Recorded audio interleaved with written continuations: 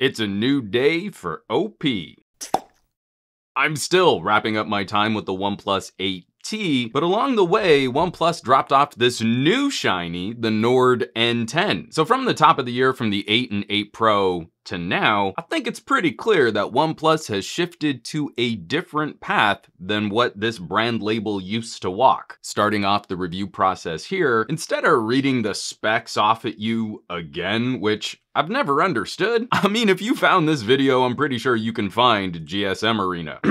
I really like chatting smartphone philosophy, especially when I think it might lead to better competition. When it comes to OnePlus, Oppo, and the other BBK electronics brands, immediately I need to credit the amazing work done by TechAltar. Some fantastic business insights on that YouTube channel, you should definitely be subscribed. Picking up the Nord N10, I get an immediate feeling that the OnePlus label no longer represents a singular phone brand. What started as an experiment to court tech enthusiasts has evolved into a more traditional consumer electronics option. If we're real tech fans, what we care about is more competition across the market. It feels good when a company sets their sights on us nerds, but we also have to know that no brand can live here.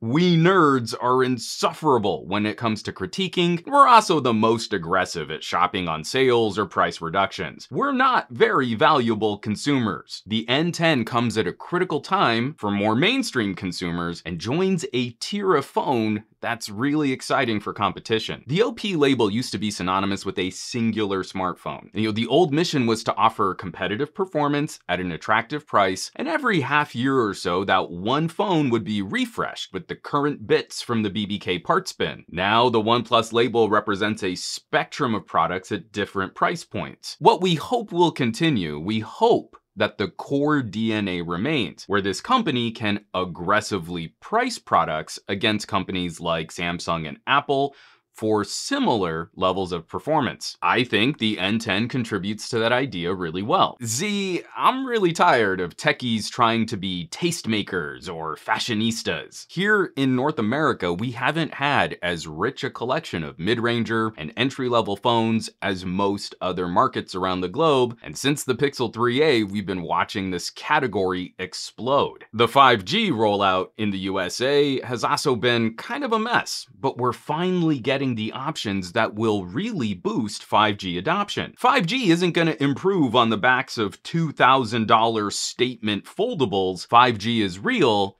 when we can take it for granted that any new phone will have it. Some early conversations on the N10, this is not a phone for me. Hitting this low of a price point while introducing 5G and carrier support for North America means some compromises in a few areas. That's not rocket science. But I think OnePlus is doing a decent job of managing and balancing those compromises in a way where the consumer is most likely to shop a solution like this will enjoy the experience. That's such a huge change from years past. We used to talk about mid-rangers with that tone in our voice. Uh, consumers could suffer those compromises to save a little cash if that's what they wanted to do. We can now more comfortably make the argument that someone will just straight up enjoy using this phone first and foremost, and then they'll be tickled by the low price. That's just another perk. So let's be real, in my first impressions, not a lot of the nerdy bits matter. At least not in the traditional way we usually talk about phones. Processor, RAM, display tech, benchmarks, etc, etc. This is a device that continues to crack away at the terrible way we glorify premium tier expensive products, but then showcase those products for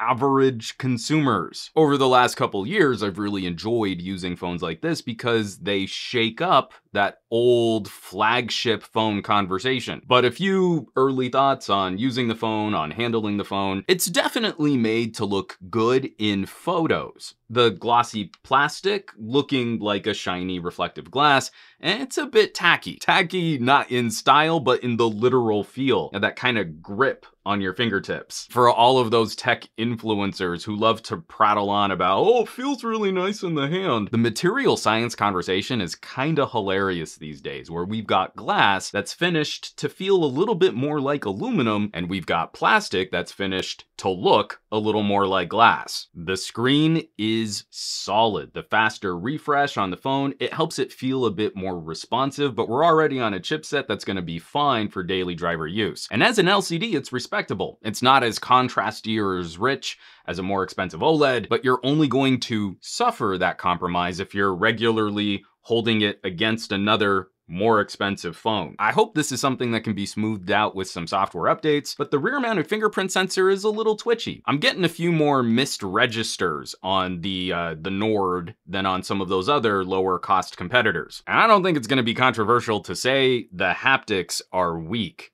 That buzzy, floppy buzz buzz. It's one of the things I absolutely love on the premium OnePlus is how the haptic motor now feels like a light string pluck. And you're not gonna get that here on the N10. Instead, there's just an idea of consumer grade represented here that I find a bit curious. Why is it that poor people phones get useful features like a headphone jack or memory card support. Why do we have this absurd bookend of phone features? For handling real, real world use, these cheaper phones can often be better lifestyle communication companions for average consumers than their more expensive counterparts. Getting your money's worth on a premium tier processor means using your phone to replace your laptop, which is something tech influencers are often tripping over themselves to complain about my videos that average consumers don't use their phones like that. So the OnePlus Nord N10 arrives